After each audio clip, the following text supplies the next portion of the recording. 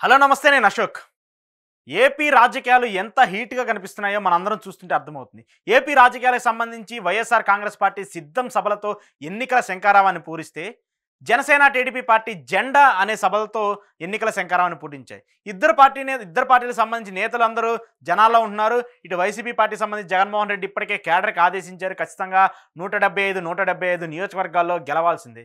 ఇక టీడీపీ జనసేన కూటమికి సంబంధించి కూడా అభ్యర్థులను ఇప్పటికే ప్రకటించిన నేపథ్యంలో అందరూ గ్రౌండ్ లెవెల్లో పనిచేసుకుంటూ వస్తున్నారు. ఖచ్చితంగా ఈసారి జగన్మోహన్ రెడ్డిని ఓడించాలి వైసీపీని దించేయాలి అనే ఒక నినాదంతో ఇరు పార్టీ నేతలు పనిచేస్తూ వస్తున్నారు. ఈ నేపథ్యంలో ఏపీ రాజకీయాలకు సంబంధించి కొన్ని సర్వేలు ఇస్తున్నటువంటి రిపోర్టు కొంత భిన్నంగా కనిపిస్తూ ఉన్నాయి ఏపీ రాజకీయాల్లో కొంతమంది జనసేన టీడీపీ కలిశాయి కాబట్టి కొంత జనసేన టీడీపీకి ఎడ్జ్ ఉంటుంది. రెండు వేల పద్నాలుగులో ఎలాంటి కాంబినేషన్ అయితే రిపీట్ అవుతుందో అలాంటి కాంబినేషన్ రిపీట్ అయితే జగన్మోహన్ రెడ్డి కొన్ని ఇబ్బందికర పరిస్థితులు ఉంటాయి అని చెప్పేసి సర్వే సంస్థలు చెప్తున్నాయి. కానీ కొన్ని సర్వే సంస్థలు మాత్రము వైఎస్ఆర్ కాంగ్రెస్ పార్టీకి ఎలాంటి ఇబ్బంది ఉండదు. రెండు వేల పంతొమ్మిది ఎన్నికల్లో ఎలాంటి ఓట్ మెజార్టీ అయితే వచ్చిందో అలాంటి ఓట్ మెజార్టీయే తిరిగి రాబోతుంది. మళ్ళీ తిరిగి అధికారంలోకి జగన్మోహన్ రెడ్డి రాబోతున్నారంటూ కూడా సర్వే సంస్థలు చెప్తూ వస్తున్నాయి. ఏపీ రాజకీయాలకు సంబంధించి ఒక సర్వే సంస్థ ఒక కీలక రిపోర్ట్ ఇచ్చింది టైమ్స్ ఆల్జీబ్రా.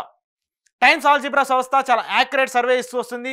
తెలంగాణ ఎన్నికలకు సంబంధించి కానివ్వండి దేశ రాజకీయాల ఎన్నికలకు సంబంధించి రెండు వేల పంతొమ్మిదిలో ప్రస్తుతం ఉన్నటువంటి నేపథ్యంలో చాలా యాక్యురేట్ సర్వే ఇస్తూ వస్తుంది. సో ఈ సర్వే ఏపీ రాజకీయాలకు సంబంధించి ఇప్పుడున్నటువంటి పరిస్థితిలో ఇప్పటికిప్పుడు ఎన్నికలు జరిగితే ఏ పార్టీ అధికారంలోకి వచ్చేందుకు అవకాశం ఎక్కువగా ఉందనేది కూడా చెప్తూ వస్తుంది. ఒకసారి చూద్దాము. వీలుస్తున్న వీలుస్తున్నటువంటి రిపోర్టు అధికార వైఎస్ఆర్ కాంగ్రెస్ పార్టీ నూట ఇరవై ఐదు అసెంబ్లీ నియోజకవర్గాలతో తిరిగి అధికారం సాధించబోతుంది. With forty nine point two percent vote share. ఇక టీడీపీ జనసేన కూటమి యాభై స్థానాల్లో విజయం సాధించబోతుంది. With forty six point three percent vote share. ఇక BJP one point one percentage వాళ్ళు గెలిచే పరిస్థితి ఎక్కడా లేదు సున్నానే. వాళ్ళు ఓట్ షేర్ మాత్రం వన్ పాయింట్ వన్ ఉంది. ఇక కాంగ్రెస్ పార్టీ వాళ్ళు కూడా గెలిచే పరిస్థితి లేదు వాళ్ళకు కూడా సున్నానే.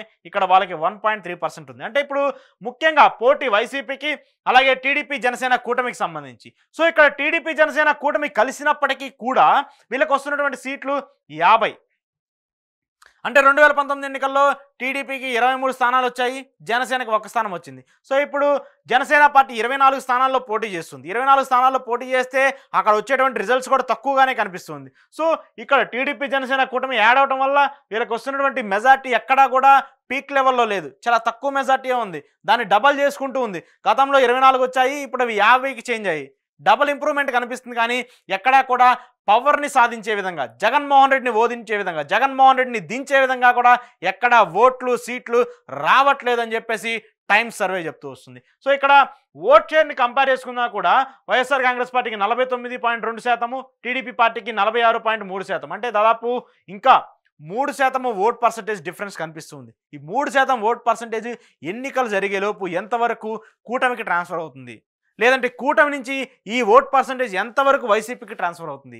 ఒకవేళ వైసీపీకి గతంలో వచ్చినటువంటి యాభై ఒక్క శాతం ఓట్ షేర్ అలానే గ్రాబ్ అవుతుంది. ఎక్కడా కూడా మనం చూస్తుంటే వైసీపీ మీద అసంతృప్తి ఉంది వ్యతిరేకత ఉందని చెప్తూ వస్తున్నారు కానీ ఎక్కడా ఓట్ బ్యాంక్ తగ్గిన పరిస్థితి కనపట్లేదు ఎక్కడ ఓట్ బ్యాంక్ డౌన్ అయిన పరిస్థితి ఎక్కడా కనిపించట్లేదు. ఖచ్చితంగా జగన్మోహన్ రెడ్డి గారికి ఎన్ని మెజార్టీ స్థానాలు రావాలో ప్రభుత్వాన్ని ఫామ్ చేయడానికి ఎన్ని సీట్లు కావాలో అన్ని సీట్లు వచ్చేసాయి.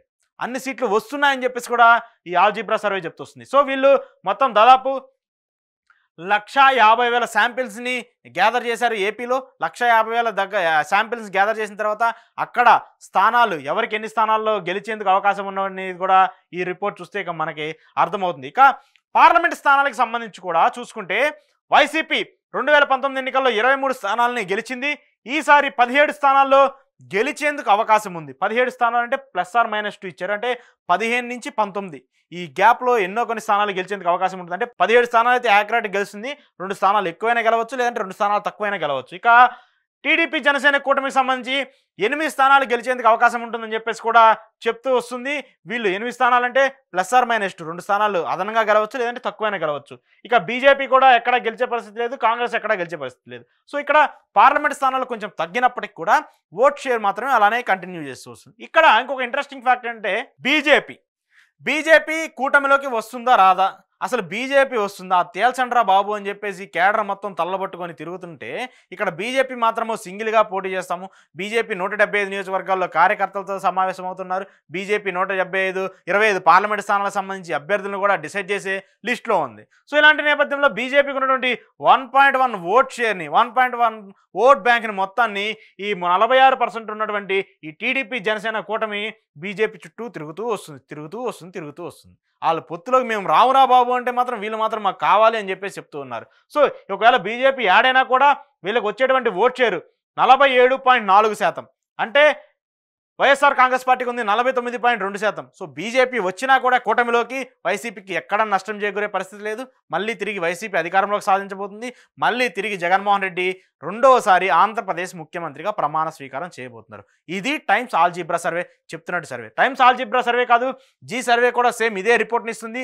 జీ సర్వే కూడా దాదాపు నూట ఇరవై స్థానాలతో తిరిగి జగన్మోహన్ రెడ్డి అధికారంలోకి వస్తున్నారని చెప్పేసి చెప్తుంది. ఇక టీడీపీ జనసేన కూటమికి సంబంధించి యాభై ఐదు నుంచి అరవై స్థానాల్లో గెలిచేందుకు అవకాశం ఉందని చెప్తుంది. సో సర్వే సంస్థలు ఎన్ని చెప్తున్నా టీడీపీ జనసేన కూటమి ఎన్ని మాట్లాడుతున్నా వీళ్ళు మాత్రము ఎన్ని కష్టాలు పడుతున్నా కూడా జగన్మోహన్ రెడ్డిని ఈసారి ఓడించేందుకు జగన్మోహన్ రెడ్డిని ఈసారి దించేందుకు ఎక్కడ ఆస్కారం లేదనేది మాత్రం అర్థమవుతుంది. మళ్ళీ తిరిగి రెండు వేల ఇరవై నాలుగు ఎన్నికల్లో జగన్మోహన్ రెడ్డి గెలవబోతున్నారనేది మాత్రము సర్వే సంస్థలని చెప్తున్నటువంటి రిపోర్ట్.